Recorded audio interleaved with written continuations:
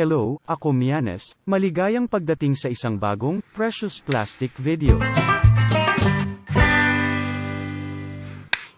Kaya sa video na ito, ipapakita ko sa iyo kung paano gumagana ang Beyond Plastic Workspace.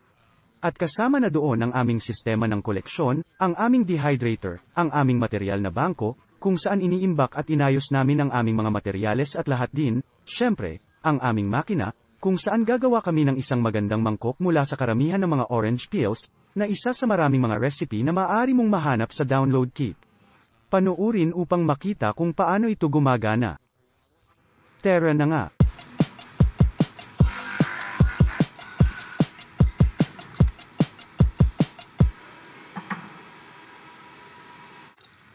Sige, kaya nakakuha kami ng ilang mga orange peels na marahil ay may gumawa ng isang sariwang orange juice kaninang umaga. At ngayon kailangan natin silang patuyuin para hindi sila magkaroon ng amag. Para sana, mayroon kaming aming dehydrator. Napaka-basic na bagay nito.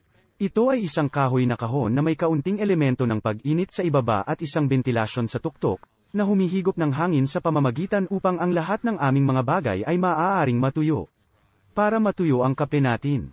At nakakuha kami ng ilang iba pang mga orange peels dito. Nagdaragdag kami ng ilang higit pang kape, ilang tsaa, upang makagawa kami ng ilang espasyo. Ilagay ang mga ito dito. At pagkatapos ay, hintayin mo na lang matuyo.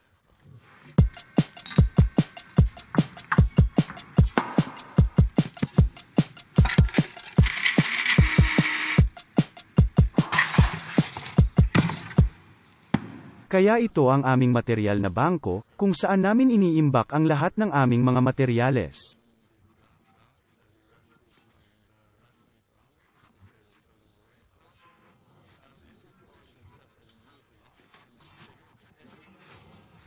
At sa loob ng mga lalagyang iyon, gumagamit din tayo ng mga paper bag mula sa harina. Kasi yun ang nagpapanatili ng lahat medyo malinis at medyo mas safe ang pagkain. Oo nga, ngayon ay maaari naming gumawa ng isang magandang mangkok mula sa orange peels.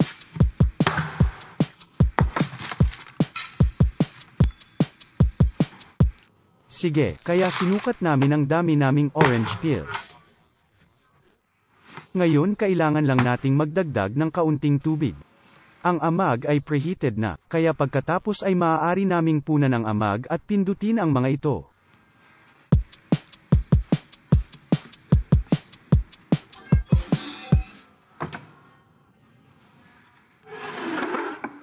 Kaya binuo namin ang mekanismo ng pag-slide sa makina, na ginagawang sobrang simple upang ay slide pabalik-balik ang hulma at mayroon din itong nakahanay kapag pinindot mo ito. Gumagamit ako ngayon ng sunflower seed oil para Pre-oil ang mold medyo pag-press ko para hindi madalas ma-stock ang material, kasi medyo nakakainis ang paglilinis ng mold, at hindi mo rin pwedeng gamitin.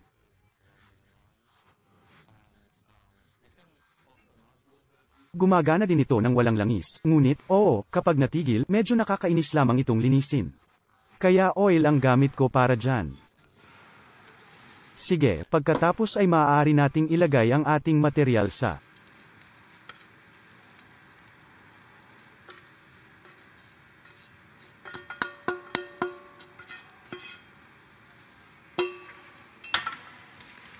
At slide mo ulit sa loob. Isara ang release, at pump up ito.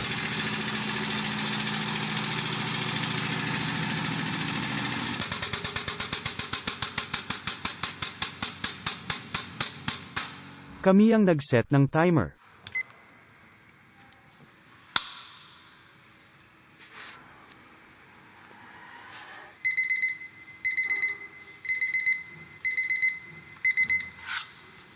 Sige, oras na para magbukas.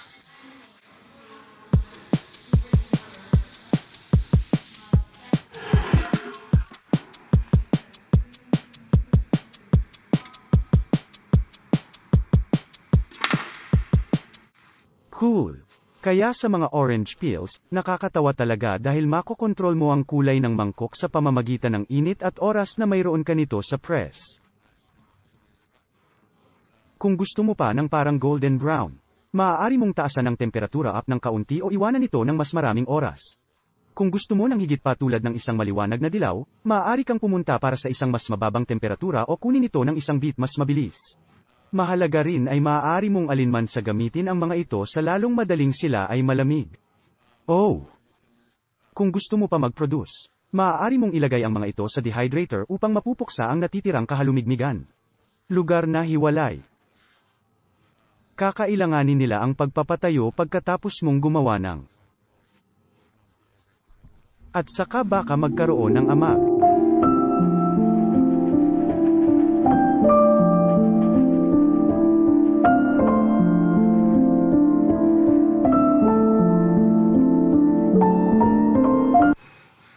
Sige, cool na. Kaya ngayon ay gumawa kami ng salad. Super sarap. Maaari ka ring maghain ng sopas o ice cream o kung ano man ang gusto mo. Kung nais mo ring magsimula, tiyaking suriin ang aming website at ang aming download kit para sa iba pang mga recipe na may iba pang mga materyales para sa mga plano sa kung paano bumuo ng makina na ito at kung paano mag-set up ng iyong sariling workspace. At sana makita ka sa lalong madaling panahon sa komunidad ng mga tao na gumawa ng biodegradable stuff. Bon appetit! Teka. Bago ka pumunta, nais lamang na ipaalam sa iyo na ang Precious Plastic ay tumatakbo sa suporta ng mga taong katulad mo. Lahat ng inilathala namin ay bukas na mapagkukunan, online ang libre, upang ang lahat ng tao sa mundo ay maaaring magsimulang harapin ang problema sa basurang plastic. Kung gusto mo kaming suportahan, pumunta lamang sa Support Precious Plastic, kung saan maaari kang gumawa ng isang maliit na donasyon o makahanap ng isa pang paraan upang makatulong. Salamat marami.